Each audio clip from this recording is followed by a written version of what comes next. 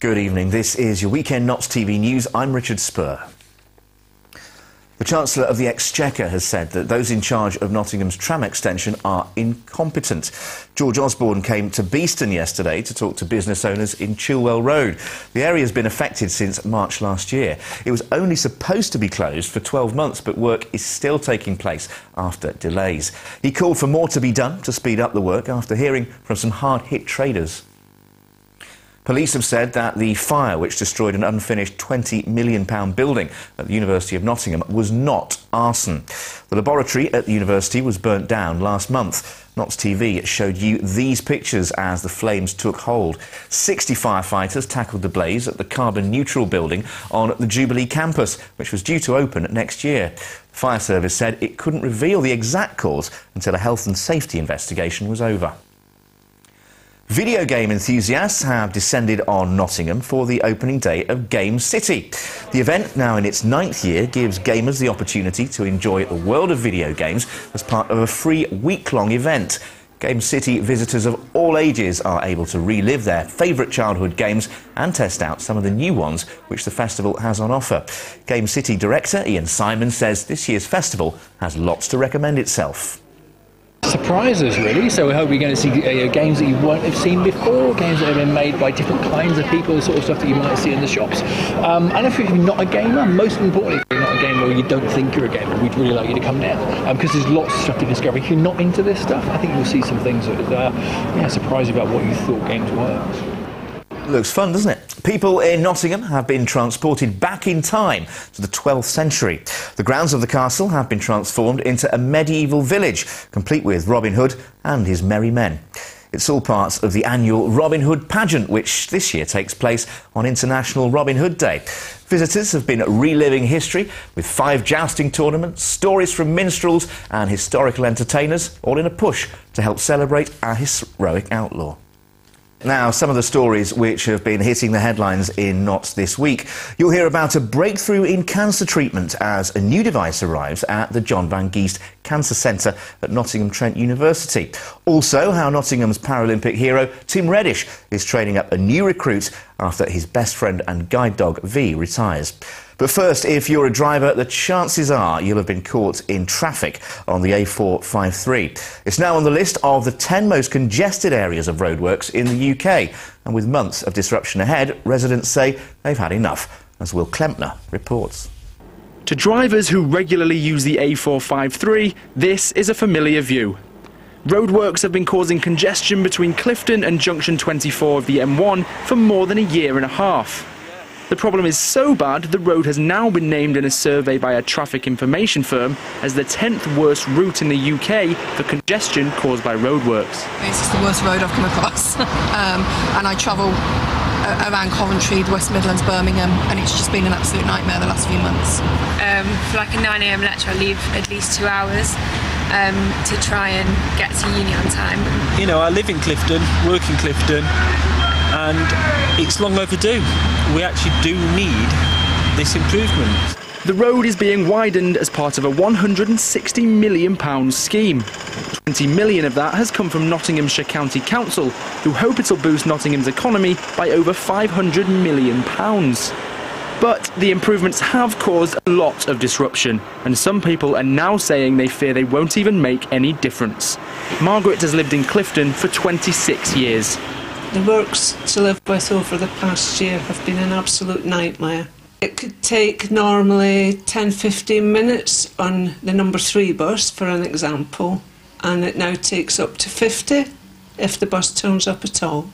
I don't think it's going to change anything. Okay, it's going to make a better road, but you're still going to get the congestion. They're not going to make any difference because when you get down to the Clifton Bridge, there's still going to be a bottleneck down there. The work started in January 2013 and the Highways Agency insists that by the time they're finished, the road will be much improved. It's very likely that the survey is correct. The road is extremely congested at the moment, which is why we're building the scheme. And the final and the solution which we're coming up with will resolve this issue and hopefully in the future people will be able to drive very swiftly and safely from the M1 into southern Nottingham its capacity will be double that of the existing road, and it will be much neater and fast and safer for people to drive through um, from one end of the scheme to the other than it is at the moment. The improvements here are due to be finished by spring next year, but in the meantime, it doesn't seem as though the traffic on the A453 is going anywhere. Will Klempner, Notts TV News. At first glance, it could be mistaken for an office printer, but this new arrival at the John Van Geest Centre in Clifton is a mass spectrometer, costing almost half a million. The new piece of equipment is used to weigh molecules, which will help to identify proteins linked to cancer. So the mass spectrometer works by we take, say, a blood sample, and that blood sample contains tens of thousands, potentially hundreds of thousands of different types of protein, and we inject them into a machine that separates them. We then ionize the sample, which gives it a charge, which allows us to guide it with a magnet- electromagnetic field, and we send them through the through the instrument to the other end to a detector. And what we're able to do is every time the instrument detects a peak that indicates part of a protein, it will smash it up, it'll fragment it. We simply then see that on the screen as a series of peaks. You know, each peak is a different um, ion with a different molecular weight. And it means that we can run a lot of samples very quickly and very easily try and decide which, which proteins have gone up in cancer patients, which proteins have gone down. So now you have an idea of how it works. How can this instrument be influential in the early diagnosis of cancer, in particular breast and prostate? Identify markers of cancer um, or perhaps being able to detect disease early in people. So we need ways of identifying these proteins, and this instrument allows us to identify them by weighing them very, very accurately, looking for these tiny differences that we could use as, as, as a guide to whether this patient is going to have an aggressive form of the disease, whether this patient will have a form of the disease that they could live with for 40 years. If you're 70 years old and you've got a prostate cancer that's going to be slow growing 40 years, you probably don't want invasive surgery with nasty side effects. Mass spectrometers have been used for decades, but this new and improved version could be crucial in the future development of a cancer vaccine. And the other aspect is can we find something that we can target for a vaccine? Does this cancer make a protein that we can target? Um, and these vaccines, they're not like the, the vaccines you get as a child to prevent disease, you can give them to treat disease. We call it immunotherapy.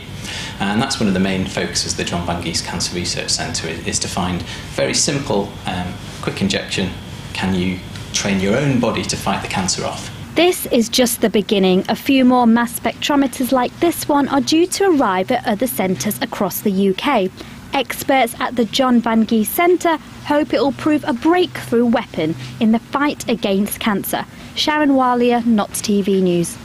Meet V. After nearly a decade by the side of Paralympic hero and Freeman of Nottingham Tim Reddish, she's now in the first weeks of her hard-earned retirement. And 27-month-old Labrador Retriever Cross Pip is her replacement.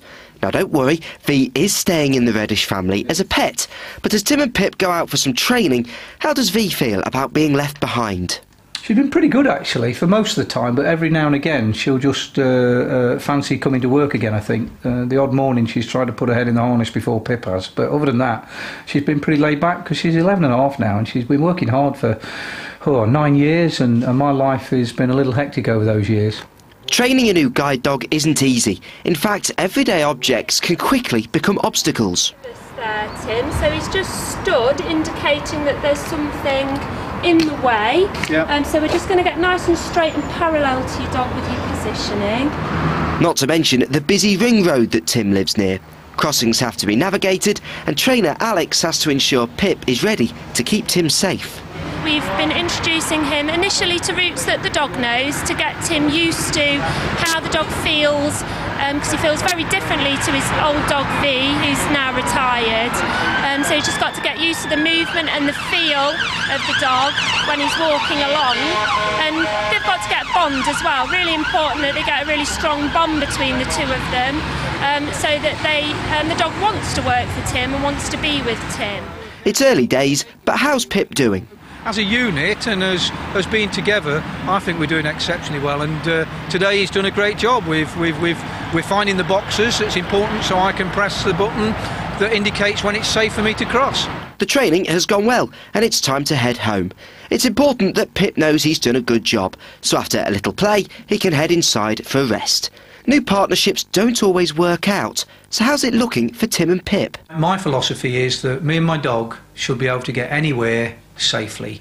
Remember, these dogs love to work. Pip loves to work, so he will want to work. So if we can be a great unit working together for the next nine years like V did, it will be an unbelievable experience for both of us. So it's good news. It looks like Tim and Pip have a bright future, while V enjoys her well-earned rest. Christian Hugill, Notts TV News. Bless him. Sport and in football, Nottingham Forest host Blackburn today as Stuart Pearce's men look for their first win in seven games. Mansfield Town are also looking for better results as they travel to York, having not won in five matches. County, on the other hand, aim to continue their climb up the league as they play away to strugglers Scunthorpe United. And the Panthers are also in action, playing host to the defending Elite League champions, the Belfast Giants. We'll have all of those results in tomorrow's show. Notts TV weather. Sponsored by WePrintLanyards.com. For any event, whatever the weather.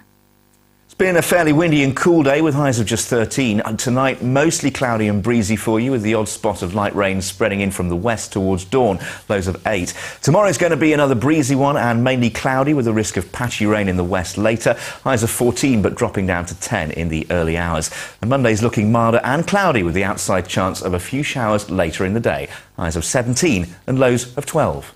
Notts TV Weather, sponsored by WePrintLanyards.com. For any event, whatever the weather. That's all your news for now from the weekend team and from me. Bye bye.